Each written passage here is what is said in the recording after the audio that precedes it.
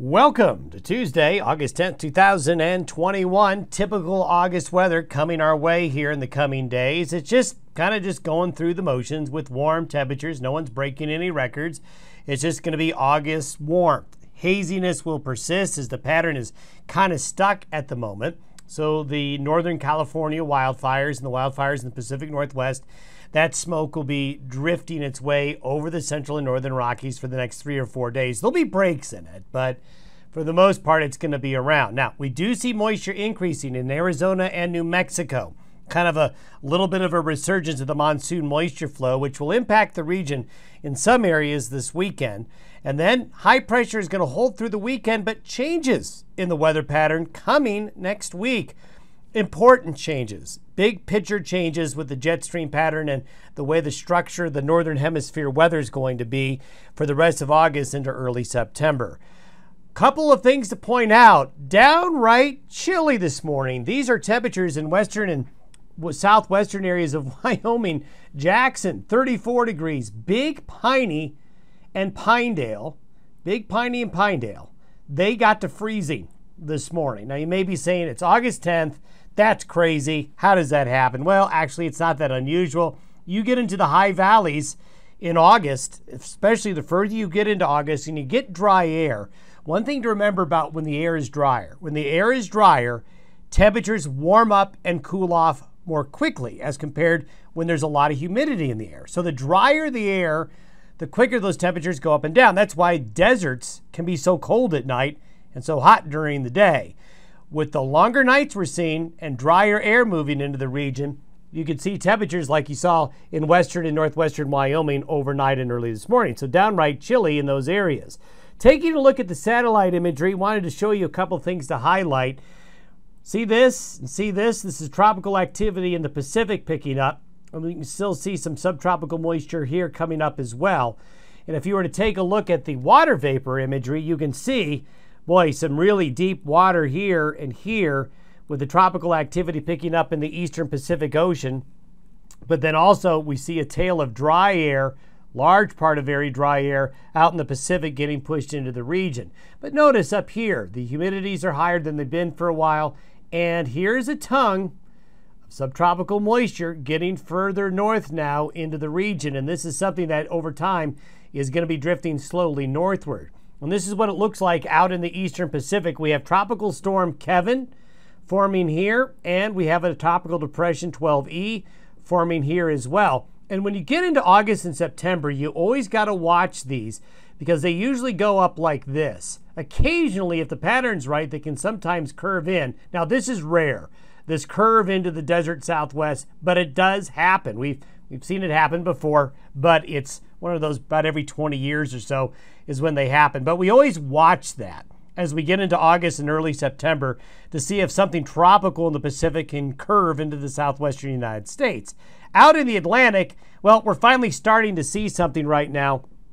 We have a little bit of a system right here developing, and our long range modeling is showing this area here picking up in terms of potential hurricane activity in the next week or so. We talked about that yesterday, and we're still seeing those signs. Now, you're maybe saying, why is he talking about the Pacific and Atlantic tropical season when we live about as far away from the oceans as possible? Well, this is important because when you look at the big picture of how weather patterns evolve during the seasons, one thing that tends to happen when we get into this time of year, you do see tropical activity normally pick up. And here it is the peak number of tropical storms and hurricanes tends to peak right around September 10th. So you can see right where we are right here. This is about when we should expect the hurricane and tropical storm activity to pick up. And that's exactly what's going on based on climatology.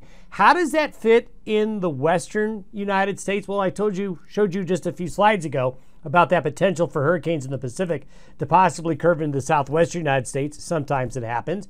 But also, what we tend to see is we tend to see low pressure become a bit more common in the western and northwestern United States in the latter half of August into early September, sort of a seasonal change. And I'm going to show you where that's showing up. And what leads to the confidence in this change is that the modeling is seeing the tropics heating up, with more tropical storm depressions and possible hurricanes later, that means there's likely going to be a shift in the weather across western North America. Now, this is where we are today. We've got a large area high, very strong high, right off the Pacific Northwest coast, and we have the upper level winds right like this. That's why the wildfire smoke is getting drawn right into the Rockies right now. But look what happens as we go forward. This is today. This is Friday. Friday, we still see the high pressure overhead, so it's a stagnant air mass. It's going to remain warm. The smoke is going to be trapped underneath this high pressure ridge. There's Kevin right down there. But look what happens as we go forward. Uh, before I get to that, I want to show you the smoke plumes. Then we'll get to that going forward. The smoke plume forecast for today shows it going on an east-west axis right here. Those Northern California fires getting drawn right into here. This is the residual smoke that's come in over the last few days. So this is today and this is Thursday. So you can see there's really only modest improvement in the smoke between today and Thursday. But as we go forward, wanted to show you this. This is by next Tuesday night and into Wednesday of next week. There's several things to talk about here. Number one is the upper level wind pattern is going to change. So, unless we see wildfires break out in Southern California, there should be a clearing out of the smoke and haze early to mid next week in this region here. So that's one thing that is likely going to happen. Some improvement with the smoke conditions. Look at this low over Washington and Oregon. Now, that is a pretty potent low.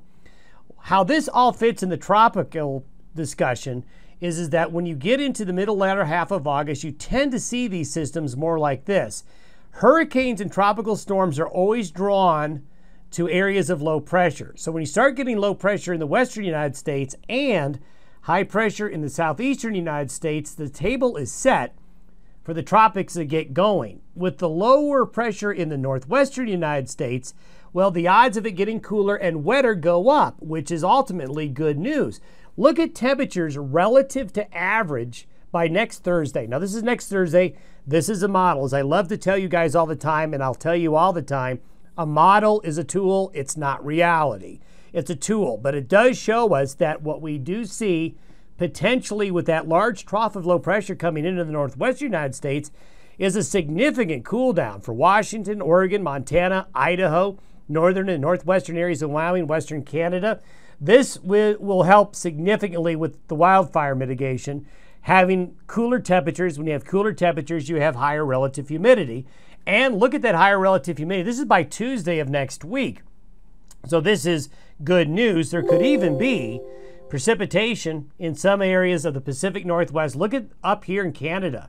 Look at Montana. Look at Idaho. This is going to help the wildfire situation undoubtedly. Even some showers and thunderstorms in the Sierras here in Northern California. Sometimes this isn't good because if you get lightning and wind and not a lot of rain, it causes more harm. But higher humidity air will move into Northern California as well. So there's actually some good news, not in the short term, but there's good news in the longer term. And then here, here you can see that other monsoonal moisture plume starting to work its way back into the region. So, you know, we've got very little going on now, but as we get into next week and beyond, the weather is going to get a little bit more dynamic in the western United States. Have yourself a great Tuesday, everybody. We'll see you tomorrow. Have a great day.